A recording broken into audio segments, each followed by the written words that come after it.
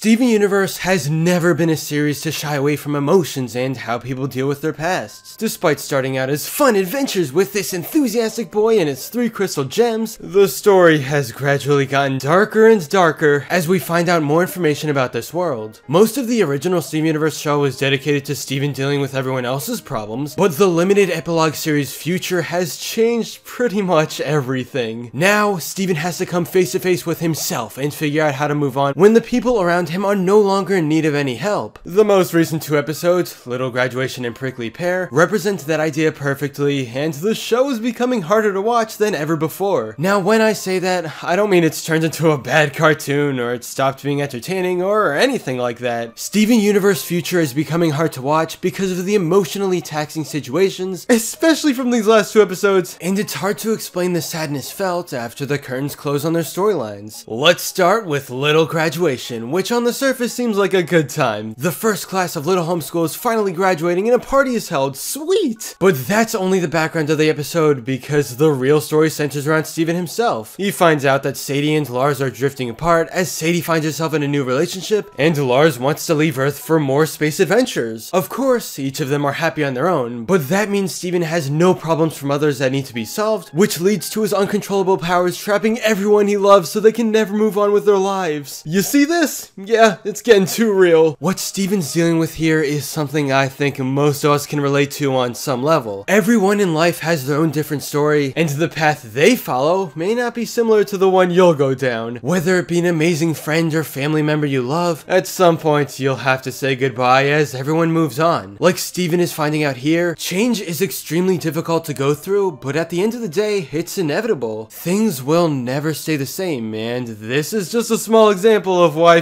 Future's becoming hard to watch. The beauty of animation, and fictional stories in general, is that they can provide commentary, lessons, and discussions on real life emotions or events, something that all people relate to. Steven is tackling tough topics, and it's hard to watch knowing that any of us could be in his shoes and still not know what to do. Change is a very scary thing, and there's no right or wrong way of dealing with it. What's also worth mentioning is that Little Graduation's ending doesn't really have one of those happy lessons at the end. Instead of feeling particularly satisfied at a wholesome conclusion, the story kinda just comes to a close without Steven understanding much more than he did at the start of the episode. Once again, this seems to represent the real life idea of change and moving on, since things just happen and end in a way where people are confused. Feelings become hard to explain. Steven didn't know how to feel at everyone doing new things with their lives, so it makes sense that this episode ended on a somber note. The emotions continue with Prickly Pear, an episode centered around a cactus that Steven brings to life. He vents to the cactus about his problems, which then copies him and talks out loud to the crystal gems. The episode's story is all about battling the cactus, but come on, it's once again Steven battling himself and everything he's dealing with. He doesn't know exactly what to do in life as nobody else needs him, the crystal gems feel fine without him around, and he just doesn't seem to have a purpose in life anymore. In order to conquer his loneliness, he unhealthily has this whole garden dedicated to other people of his past, like everyone is still there with him even though they've moved on.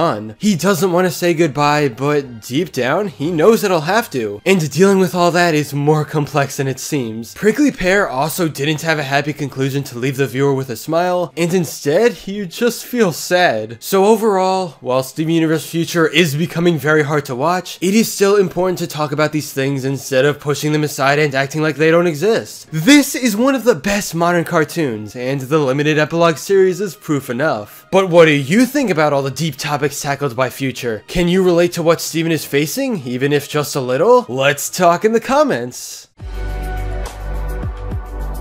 But anyway, that's all for this video. Subscribe for more awesome cartoon videos. Give a thumbs up and comment below let me know what you think. Thanks for watching, and I'll see you guys next time.